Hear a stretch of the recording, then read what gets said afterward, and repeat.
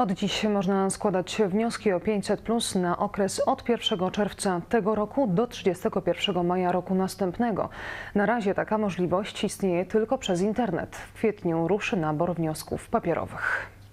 Program 500 Plus to ogromna inwestycja w rodzinę. Obecnie w dobie pandemii takie wsparcie okazuje się szczególnie cenne, mówi Marlena Maląg, minister rodziny i polityki społecznej. To przede wszystkim zmiana spojrzenia na rodzinę. To systematyczne wsparcie, które miesiąc w miesiąc około 6 milionów 600 tysięcy dzieci otrzymuje. Świadczenie 500 Plus przysługuje na każde dziecko.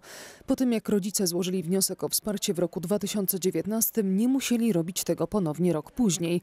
Teraz jednak program wraca do starych zasad. Ten rok jest tym rokiem, kiedy Państwo musicie złożyć wnioski, aby świadczenie y, pobierać. Od dzisiaj rodzice mogą składać wnioski drogą elektroniczną. Formularze nie są trudne do wypełnienia. E, Podstawowe dane dotyczące wnioskodawcy, czyli e, imię, nazwisko, adres zamieszkania, e, jak również dane e, dziecka oraz numer konta. Mówi Renata Grudzińska z Poznańskiego Centrum Świadczeń. Elektroniczne wnioski o 500 plus można składać za pośrednictwem portalu Empatia, platformy usług elektronicznych Zakładu Ubezpieczeń Społecznych, a także poprzez bankowość elektroniczną. Jeżeli posiadamy e, numer konta w banku, możemy to zrobić z domu, e, logując się na e, swoje konto bankowe. Tam znajduje się zakładka e, związana z świadczeniem wychowawczym.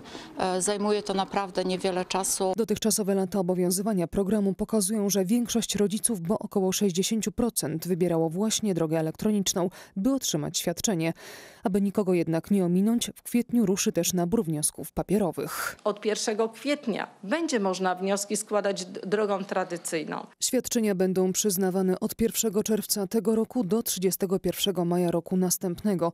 Te osoby, które złożą wniosek w lipcu, muszą się liczyć z utratą świadczenia za czerwiec. I też taka ważna informacja, że wszystkie wnioski, które zostaną złożone w okresie od lutego do kwietnia, wypłatę za czerwiec otrzymają do końca czerwca. Zauważa Damian Napierała z Poznańskiego Centrum Świadczeń.